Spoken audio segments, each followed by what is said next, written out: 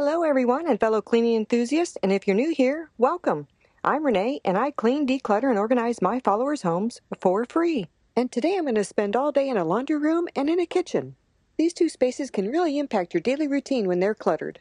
Laundry rooms often can become a catch all space, but today we're going to change that. So, first up, we're going to sort through every item, and if it doesn't belong in the laundry room, it's time to find a new home or let it go. What just popped in my head was the song from Frozen Let It Go, Let It Go. Okay, I should stick to cleaning and decluttering and not sing. The first thing I'm going to do is remove the tape that's on the floor that's the transition door between the laundry room and the kitchen. And as always, I'll do before and after pictures after each section, and in the kitchen, I'll do it after each cupboard.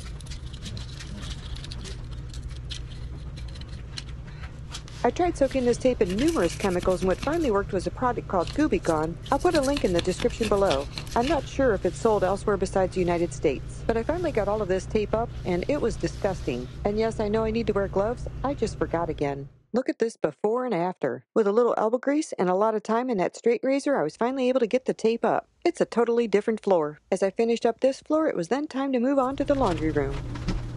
So this cabinet was next to the washer, and all the products that were on top were removed so I could clean it. So I started by removing all the items out of the cabinet. My goal was to get it emptied out so I could fix the shelves so they were the right height. This top shelf was missing a peg, so once I got it cleaned out, in my hardware bag I had spare pegs, so I got it out and I fixed it. When you're working with adjustable shelves, make sure your pegs are level across both sides. Once I got that done, I continued to remove the items off the other shelves. All of these towels on the bottom are for the dogs when they give them a bath. They're going to be moved over to the linen closet area of the laundry room. So here's the backstory.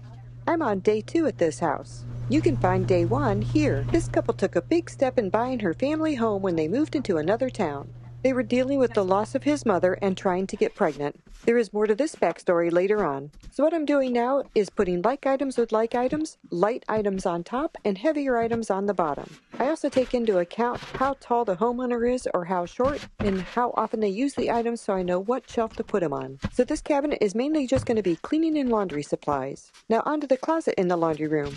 The shelf on the right has been completely empty, and from decluttering the basement, wait till you see what goes on these shelves. All the towels that came out of the other cabinet are now going to go in this closet on the top shelf because they're used very infrequently. On the top shelf of this cabinet is going to be nothing but dog food. On the second shelf is going to be dog medication. They own two dogs. One's a golden retriever and one's a mixed breed. The third shelf is dog leashes, and I'm going to hang them up so they're easy to get when they want to walk the dogs. I got sidetracked with this door and it was time to clean it real quick. So all of the kitchen appliances that were in boxes in the basement are going to go on the right hand side in this laundry room closet so she can easily see all of her cooking appliances. And like the cabinet, I adjusted the shelves here as well. So now all of the dog items are easily accessible. One last thing to clean is the doggy door. Doggy doors are often overlooked when it's time to clean. Doggy doors can collect dirt, fur, and all sorts of outdoor elements. Just like people need a clean and organized space, your furry friends need one as well. You do want to make sure that you're using a pet friendly cleaner. I'm using Simple Green and I'll leave a link in the description below. Here are some amazing before and after pictures of this laundry room. And there you have it, a more organized and efficient laundry room that makes a chore a breeze. But I'm curious, what item in your laundry room can you not live without? Drop your answers in the comments below. I love hearing your tips and tricks, and who knows, your suggestion might just be the life changer someone else needed. But now, on to the kitchen. First stop, the spice cabinet. And you guessed it, I'm going to remove all the items out of this cabinet. Once I have all the items removed, I'm going to check expiration dates or sell by dates, and I know there's always lots of comments about this, and I go with what the homeowner wants me to do. Once I get everything removed, I wipe down all the shelving. As I'm getting ready to put the spices back into the cabinet, I'm checking with the homeowner on which spices they use most frequently and which ones they use less often. It's also easier when you're putting the spices away that the labels are facing you so you can read them easier. Here's your before. Wow, that looks so neat and pretty. Onto the cabinet to the right of the microwave. And this is the pill cabinet. And after I have everything removed, once again I'm checking expiration dates or sell by dates and going with what the homeowner prefers. A quick wipe down and then I'm ready to start organizing. So the container that I'm trying out in this cupboard is a soda can or pop can container for the refrigerator that I got at Dollar Tree. And the goal is to make it easier for the couple to pull down their medications instead of sorting through them one by one and trying to grab the medications all the way in the back of the cupboard. Here's your before video. And here's your after video. I have over-the-counter medication in one container and prescriptions in another. This cabinet is to the left of the spice cabinet. And yes, once again, I'm removing everything. And a quick wipe down on each shelf. The red containers you saw on the top shelf and on this shelf are completely full of needles. I did not realize they were full when I was taking them off the shelf. This coffee pod tree will go into another location. Also, all the vegetable oil and soy sauce will go on a lower shelf. Little did I know that I missed this bottle all the way in the back. I'm putting the sharps container back in the cupboard. She did not know how to dispose of them properly, so I took them to the local health department. But that was only after I organized the cabinet, and so I had to reorganize it after I was done. The medication I put up top, I found out later that that was supposed to be also disposed of properly, and I did that as well. This red mixer will go over into the baking section in another cabinet later on.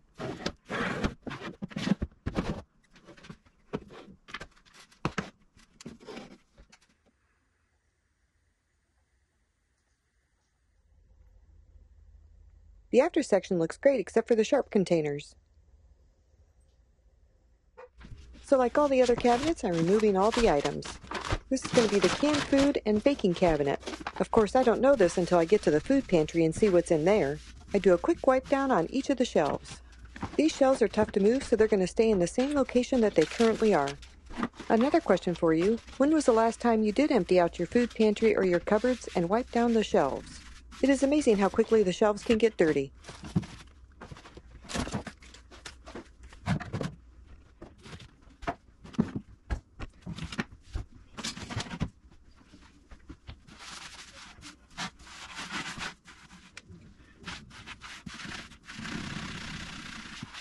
I'm going to leave that cabinet to the left empty as I dig into the food pantry.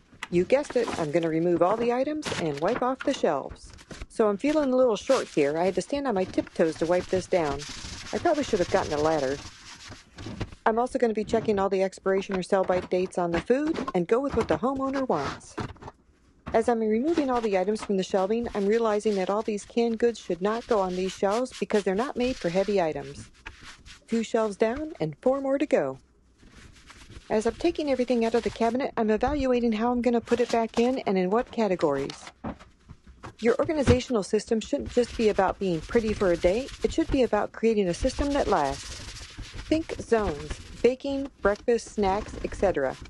And use baskets or bins for smaller items like packets and bars. And lazy Susans are not just for spices, they make things a breeze to reach. I'll come back to that spot with a razor scraper and get it off. Labels are more than just cute, they're very functional. You can label shelves and bins and even bottom of jars.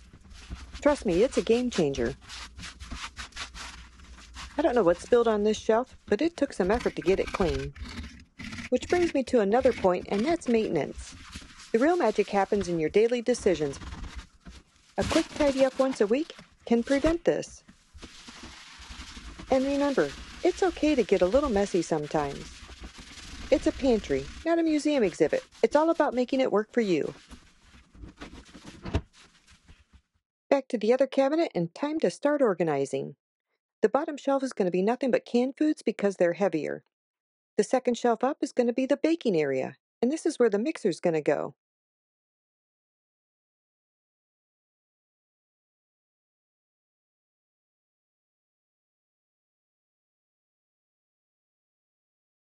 On the second shelf that had the baking items, there was extra inventory of sugar and flour, so I put them up higher. And now going back to the pantry, on the top shelves go the lighter items. And I'm putting like items with like items. Those soda or pop containers are very handy to hold little items in. These shelves are not adjustable, so I have to work with them. Because the crackers didn't have a box, I'm putting them in a container so the crumbs don't fall out all over the shelves. Here's your before of the pantry.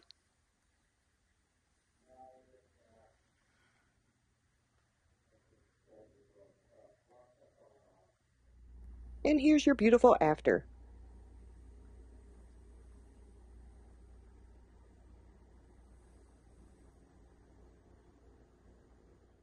This is the before video of the food cupboard, and here's the after. Now it's time to move on to the two junk drawers. I haven't come across a kitchen that doesn't have one. The homeowners were on the right track to sort things out with containers, but let's make it just a little bit better.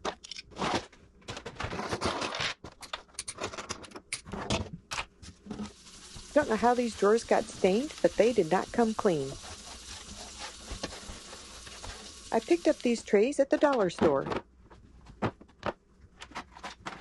As I started putting things back, I was doing like items with like items.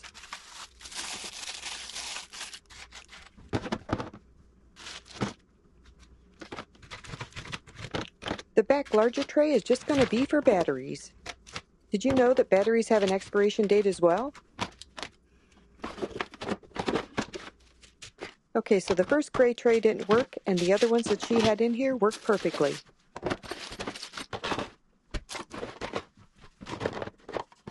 I forgot to take a before video of the junk drawer, but here's your after. The left drawer and the right drawer. Next stop, underneath the kitchen sink. As I'm pulling everything out, I'm realizing that there may have been a leak underneath the sink. The cabinet board is completely warped. Once I get everything cleaned up, my goal is to not put anything back there where it's soft and things might fall through. Anything that was not needed for the kitchen went into the laundry room cabinet. This kitchen sink has a soap dispenser. Did you know that you can unscrew it and refill your dispenser?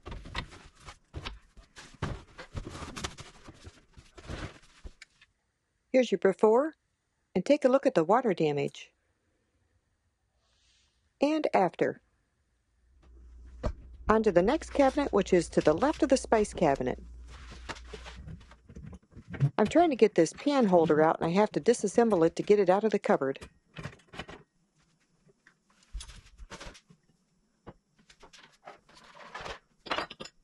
These containers that are on the bottom will go into another cupboard.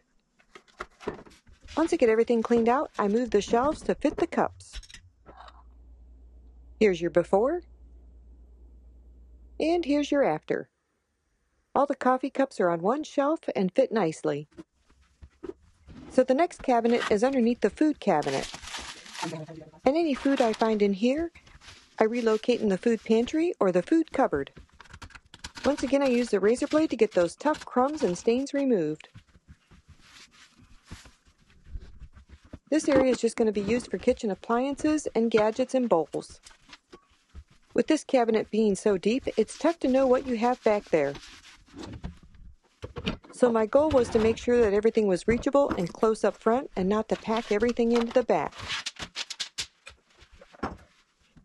Look, vegetable oil. This will go in another location. A quick wipe down of all the food crumbs and get it nice and tidy.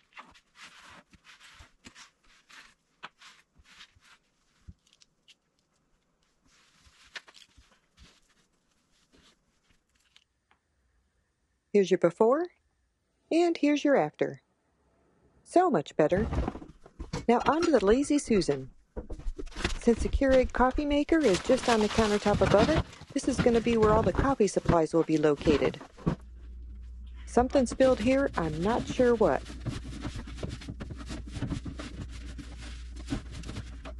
I moved on to the top shelf while I let this soak with all-purpose cleaner. With a little bit of elbow grease and time, I got it all removed. And of course, I didn't take a before picture of this area either. So here's your after video. A nice little coffee station on the top shelf. Two more cabinets to go. This one is just above the microwave, which is above the stove. Do you remember that vegetable oil I found? It's going to go up here.